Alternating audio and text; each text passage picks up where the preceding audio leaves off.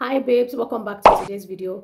In today's video we're going to be talking about essential makeup brushes for beginners. So if you are somebody that you're just trying to get your hands on makeup application and you don't know where to start from when it comes to makeup brushes in today's video i got you guys. So let's jump right into it.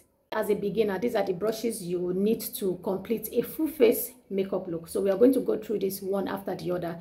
The first one is going to be your foundation brush you need a foundation brush as well as a beauty sponge. So when you use a foundation brush to blend your foundation you also need a beauty sponge to smoothen it out. As a beginner you might not be able to blend your foundation out completely so with brush. So you need a beauty sponge to smoothen it out the second brush you will need as a beginner is a powder brush. This is quite big quite large and it is fluffy. This type of brush is what you use to apply your powder and also you can use this to apply your powder bronzer. Blush brush you can see how this look. It's fluffy and it's big as well but not as big as the powder brush. The next brush is a concealer brush. This can basically use this to tap in your spots with concealer just to conceal the areas you have spot on your on your skin.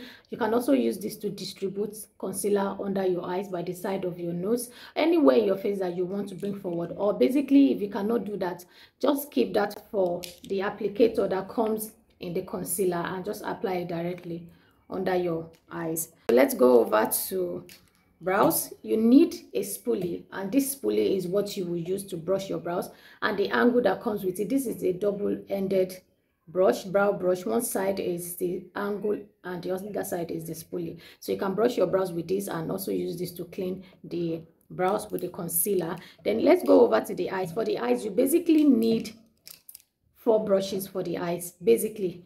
So the first brush is going to be you need to get a blending brush that is clean. You have to keep this aside whenever you are doing your eye makeup. Then you need a crease brush but your crease brush should serve as your lid brush as well. So this is two in one.